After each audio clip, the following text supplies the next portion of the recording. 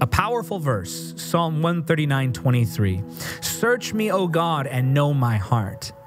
Test me and know my anxious thoughts. There's something to be said of vulnerability toward God. And that's what this message is about.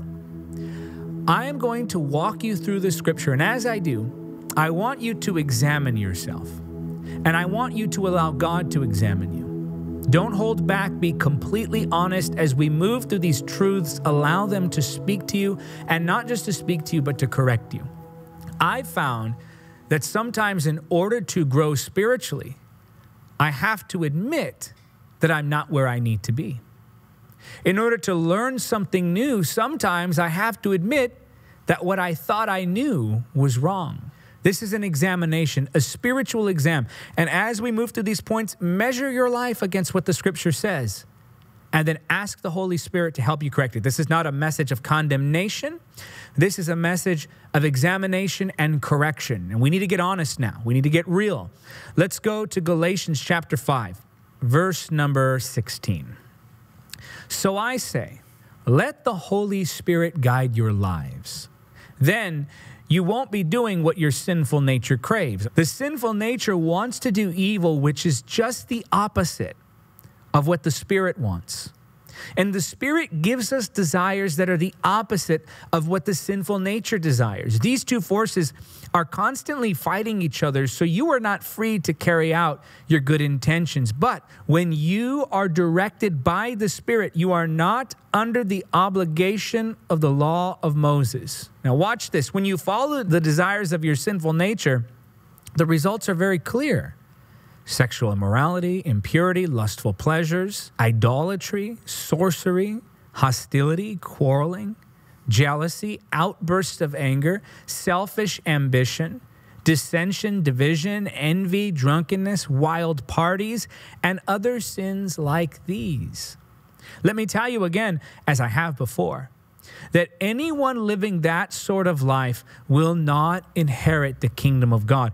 But the Holy Spirit produces this kind of fruit in our lives love, joy, peace, patience, kindness, goodness, faithfulness, gentleness, and self control. There is no law against these things. Those who belong to Christ Jesus have nailed the passions and desires of their sinful nature to his cross and crucified them there. So there is this war between who you used to be and who you truly are now. The spirit desires to do that which is godly, the sin nature desires to do that which is sinful. And if you're walking according to the Spirit, certain things will begin to surface in your life. You know, pressure doesn't create you, it reveals you. When something goes under pressure, the contents are revealed for what they actually are. You've heard the illustration that when God wants to produce oil in you or the anointing in you, that it's like unto the crushing of an olive, because they would crush the olive in order to get the oil. But here's the reality were there no oil in the olive, when the crushing would come, there would be no oil. Mm. In the same way, when pressures come against us in our lives, it reveals what's on the inside. It reveals what's really in there. So it's important that we examine ourselves so that when times of testing come, so that when pressures come, so that when the enemy attacks, we can produce that which is in us, the Spirit. Let's read these two verses again from Galatians chapter 5. I'm going to read verses 22 and 23 one more time. Listen to this. But the Holy Spirit produces this kind of fruit in our lives love, joy, peace, patience. Lord, please help me with that one. Kindness, goodness, faithfulness, gentleness, and self control. There is no law against these things. The greatest demonstration that you are walking according to the Holy Spirit is not power. Is not miracles, is not speaking in tongues, though those are wonderful demonstrations of the Holy Spirit's power. The primary way that you know that you're walking in the Holy Spirit, it's the character of Christ in you. What good does it do if you're speaking in tongues and then cussing people out? What good does it do if you're walking in power but have no patience for those who are weaker? What good does it do if you have authority and are able to perform miracles and drive out demons and operate in the gifts, but the people who are closest to you know you as a mean spirited, moody, cranky, cynical, selfish individual? Mm. What good does it do wow. to have power but not presence, to have gifts without glory? To have a form of godliness without the character of Christ. So, the character of Christ is foremost love. Love at its core is selflessness. Love is not a feeling. Love is putting others before yourself. Love is prioritizing those around you. Love is a decision made in selflessness. Love is selflessness. Joy. Do you project that joy in your everyday life? Or are you so spiritual that you have to always be so serious and moody? Now, I'm not talking about personality types. I know some people that are very stoic, that's just their personality, and that's not what I'm talking about here.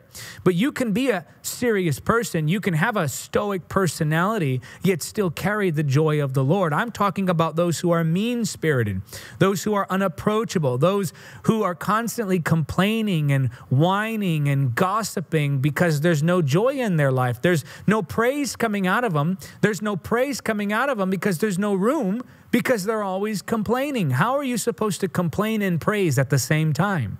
So, is there joy being produced in your life? Do people see the joy of the Lord? Or do you make Christianity look miserable? Do you make it look like something that's unattractive? Do you make it look like something that's just one big chore after another? You need the joy of the Spirit in your life. You need to be overflowing with that joy and affecting others around you. Do you have peace? Or are you always freaking out and panicking at the first sign of trouble? Does your mind mm. always go to the worst case scenario of what could possibly go wrong? When you face issues in your life, do you become emotional and reckless? Do you begin to say things that you shouldn't say? Does your mind begin to spiral out of control? Or do you stay grounded on the foundation of the person of Christ? Do you find your firm footing in the promises of God? Are you able to approach the storm with confidence or do you freak out? Patience, this is one of the ones I pray the Lord helps me with. If any of these I'm struggling with, it's patience because I like to move fast. I like to get things done. I like to get on to the next thing. If I'm explaining something, I want to be able to explain it once and that's it and not have to explain it again. Patience is something I'm asking the Lord to help me in. Now, I have some patience, but I could use more. Tell me in the comment section right now, as I've read the fruit of the Spirit to you, which one of these do you need the most work in?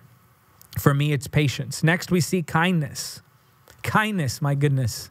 Whatever happened to kindness in this hmm. world? People so mean with each other. Everyone's a Christian until they start driving. Everyone's kind until they're late. Everyone's in a good mood until they don't get what they want, and then suddenly kindness goes out the door. God help us. Goodness. This is speaking of goodness itself, the intrinsic nature of God. Everything that is of God is good. Those good things that we enjoy, the positive things of life. Do you have that goodness in you? Faithfulness, this is talking about not just consistency, but reliability. Are you faithful and consistent and reliable?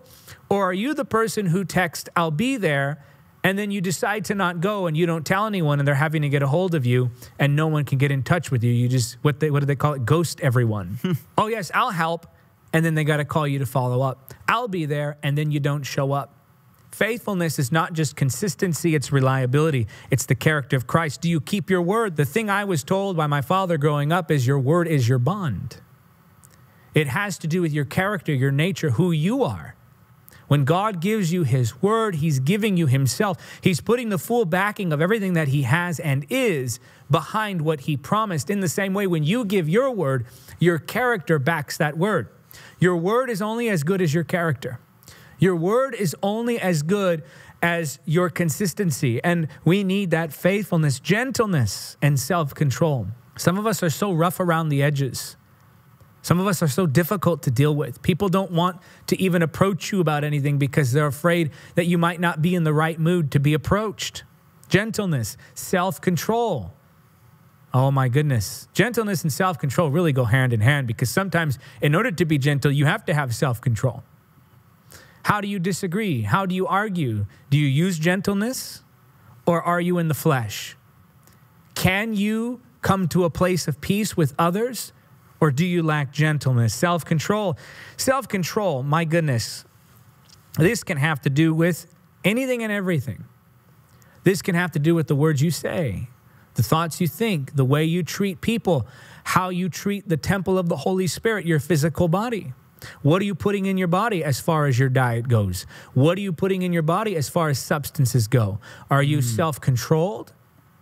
Or do you demonstrate a lack of self control? Now, hmm. again, these are questions I'm asking, and I am not asking these to condemn anyone. Look, I, am not, I'm not someone who tries to offend people just because it makes for a better message. I'm telling you this because I love you. I'm asking you these questions because these are questions I have to ask myself too. I'm right there with you. I'm looking at these things going, Lord, I could really do better in all of these areas. All of us can be more like Jesus in some way. All of us need to be more like Jesus in more ways than one. So I'm not saying this to condemn you. I'm not asking these questions so that you walk away feeling condemned. I want you to ask these questions so these things can be corrected in our lives because this is an indicator to us the Holy Spirit produces this kind of fruit in our lives. And then it lists the nine fruits of the Holy Spirit. That's the character of Christ. If you are not walking in the Spirit, you won't be seeing these things. Therefore, if you don't see these things, that's a sign to you, that's an indication that shows you, that reveals that maybe you're not walking with the Spirit like you should be. Mm. And we all need to measure ourselves against the Scripture. We all need to measure ourselves against what the Bible says. That's the diagnosis, that's the verdict. These are the symptoms of walking in the flesh. What are the symptoms of walking in the flesh? Well, what's the opposite of love? It's selfishness. Mm. What's the opposite of joy and peace and patience and kindness and goodness and faithfulness and so forth? Those are the symptoms of a lack of the Spirit in your life or a lack of surrender to the Spirit. The primary sign that you're walking with the Holy Spirit is the character of Christ in you. And we all, I'll put myself in there with you Spirit family, I'm right there with you. We're all growing, we're all learning. I need more uh, surrender in my life in these areas. So do you. And so we have to do these tune ups, these checkups, because only one is perfect. Thank you for watching Encounter TV. Don't forget to subscribe and click the notification bell. Also, help us spread the gospel of Jesus Christ in the power of the Holy Spirit. Make a one time donation or become a monthly supporter by clicking on the donate link now.